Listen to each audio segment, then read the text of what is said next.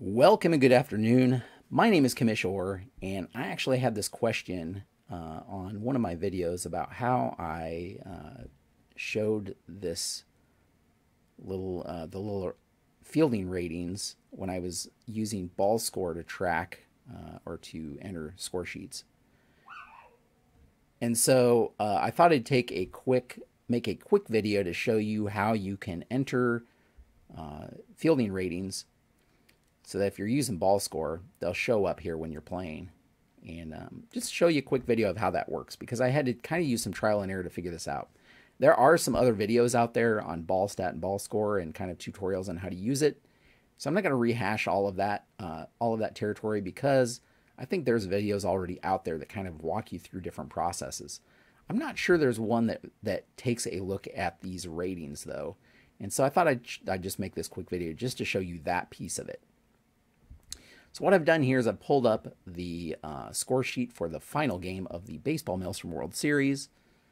Um, you can actually go check that out over at baseballmaelstrom.com if you want to see how that all transpired. But this is game six between the Detroit Rockets and the St. Louis Wizards.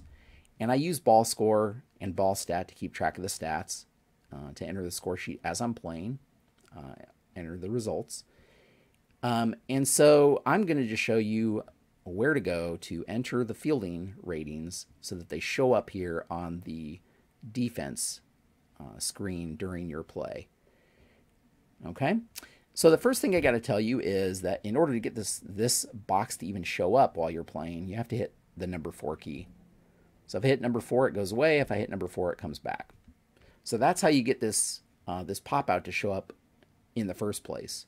Very very handy, very handy because um, you know, if you're like me and you're playing, you don't want to have to flip through all of the um, fielding cards to find the ratings that you're looking for while you're playing the game. It's just quicker if you just have a have them all listed here so you can just quickly glance over and see the ratings in question. Now, um, now let me show you where you enter uh, the information on the players in order for these ratings to show up. And that's all done through the the RLM, the roster and lineup manager. So if you click on RLM for a team and that pulls up their roster, and this of course has their lineup as well for this game. But let's take a look at their roster here and let me look at, uh, let's say Kenny Lofton. Here's Kenny Lofton. So you highlight the player in question in the roster screen, and then over here you have a button that says Edit Selected Player. Okay?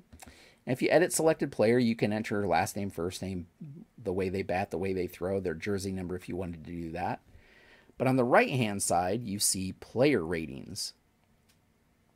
Okay, and there's a bunch of fields here. Now, um, if you look through the ball, BallScore, ball stat guide, you do not get a lot of information on uh, what each of these fields means and where it's going to show up. So I had to use a lot of trial and error to figure this out. Um, and so I'm not using all of these lines. And let me tell you the areas that I found that don't show. I think the one that say not used don't really show up anywhere over here. So for example, this first field that's 12, by the way, this 12 means 12 characters. That's how long, how, uh, how many characters you can enter in that field. So this first one, not used, I don't think that's used anywhere. I don't think it displays anywhere while you're playing. Okay.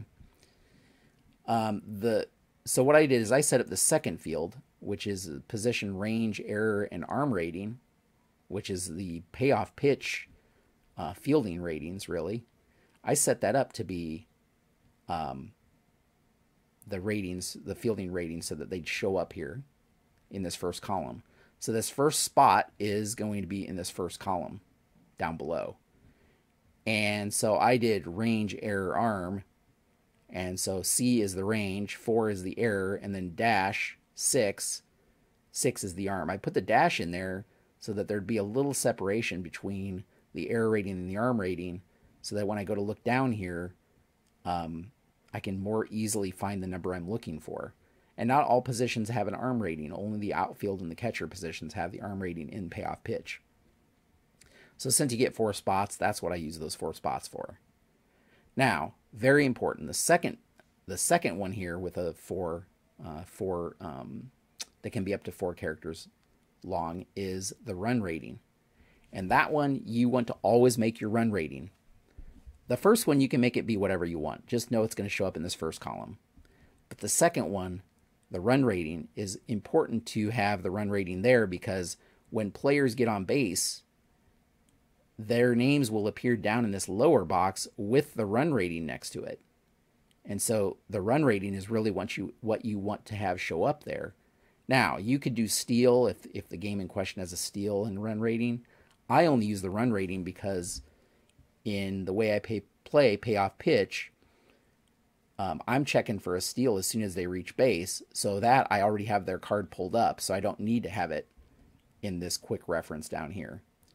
But if the if that particular uh, player is on third base and it's a few batters later, it's very handy to have that run rating there to look at because that way I don't have to flip back through the cards. So you could put steal in here um, if you wanted to, but again, I didn't because I would already have their card pulled up for that for those purposes um, and wouldn't need it down here. So this second, again, you want to if you want to change it, change it to run because that's what's going to show up down here. You can see Blackwell 8. 8 is his running rating. So you know what the running rating is. It will also show up in this column up above as well, but again, you don't really uh, pay attention to that very much when they're on defense because it's the defense that's showing up down here. You'll notice I have the Detroit Rockets part of the score sheet pulled up here, but it's the St. Louis Wizards defense that's showing down here because it, the game or BallScore knows that we want to see the defense, not the team that's batting. Um, but anyway, that's where run would go. I didn't really use any of the other columns because it just made things too busy for me, but you could use something in the third and fourth spot, and these will show up in these columns down here, this, the second and third column down here. And then the very final one, which is just a one character space, would show up on the end here down below if you enter something there. And the one above that, not used, is another one that I couldn't figure out what it was for, honestly. Some of these may be uh, maybe a picture rating because I think they may show up down here, but I just didn't use them because I couldn't really figure it out and it didn't really serve any purpose for me. So I guess what I'm saying is, whatever game you happen to be playing, um, you have to kind of decide what ratings are important to see during the game and what's going to speed things up for you. And also decide which ones you're not going to include because there's not enough room. The one disadvantage with the way I have set things set up is that if I have a, a particular player that is playing a position that's not his primary position, only his primary position ratings are going to show up down here. That's what I've entered up here. Now, at one time, I did have, uh, you'll notice that one of these says uh, position two range, position two error and arm. So I did have a secondary position ratings in here, but again, that just kind of cluttered things up, and there was hardly there weren't enough times where a player was playing a secondary position for it to matter to me. Um, so that's why I just kept their their primary position um, defense ratings in here. But if you want to use those other columns, you're welcome to do so. You just would enter them here and then they would show up in these two columns down below. Um, changing the rating tile, uh, titles. So if you need to change what these say, okay, you would do that under change rating titles here. So as you see, if you click on that, you have the rating header and the abbreviation. The abbreviation is what shows up in this table down here. So you can see the rating number two header was PS for position, number one, because it was their primary position, and then RNGE arm, range error arm.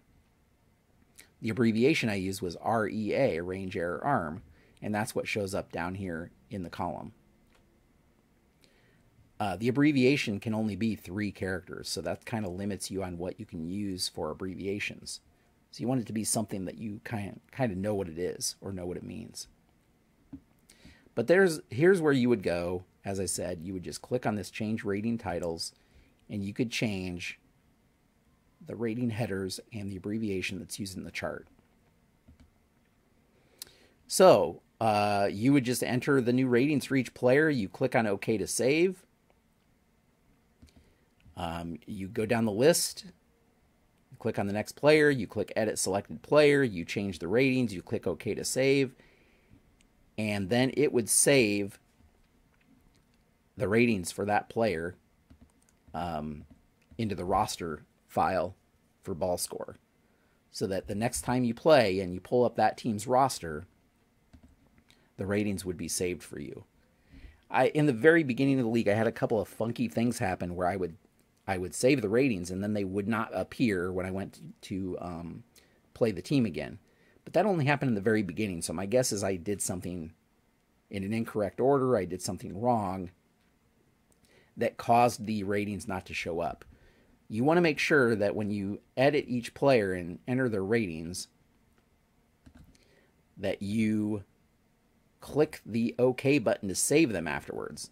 So if you see I click OK and it pulls up and wants to know what roster file I want to save it on. So make sure you do that so that your ratings are saved because they're saved as part of that roster file. Then no matter what you, how you set the lineup, that uh, those ratings are going to appear for that player. All right, I think that's all uh, I need to say to explain that. Hopefully that made sense. Again, you hit the number four key on the keyboard in order to get the um, quick reference to show up. You go into the roster and lineup manager, go on into the roster for the particular player in question, and click Edit Selected Player in order to enter those ratings. The first time, if you need to change the rating titles and uh, the headers and the abbreviations, you would click that button to go in there to change those. And at every point, you want to make sure you're clicking OK to save your selections. So it saves that roster file so that you don't have to re enter them every time you play the game. Once they're saved on the roster file, you should be good to go. All right that's where we will leave things today. Let me know in the comments if there's anything else that is unclear or that you'd like to see.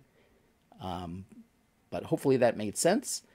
Uh, if you want to check out my current projects, you can always uh, head over to baseballmaelstrom.com to follow the action, or you can follow videos here. I post uh, post videos throughout my projects, kind of updating you on progress. So you can check those out as well. Thank you so much for watching, and until next time, have a great evening.